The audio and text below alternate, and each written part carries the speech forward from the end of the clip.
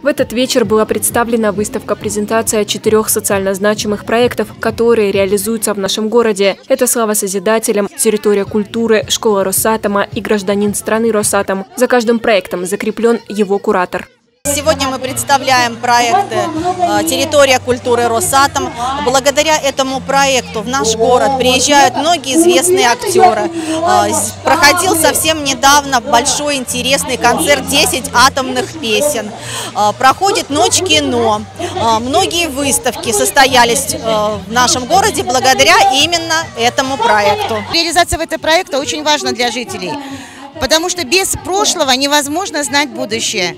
И я хотела бы обратить особое внимание, что каждый голос, который будет при голосовании, важен для проекта «Слава Созидателей».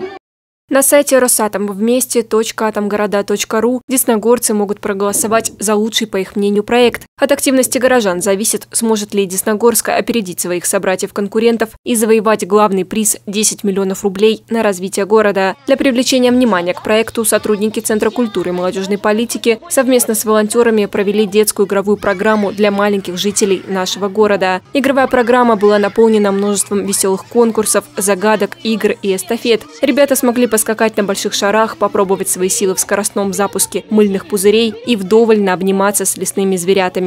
В конце праздника дети сфотографировались со сказочными героями и, конечно, все участники получили сладкие призы.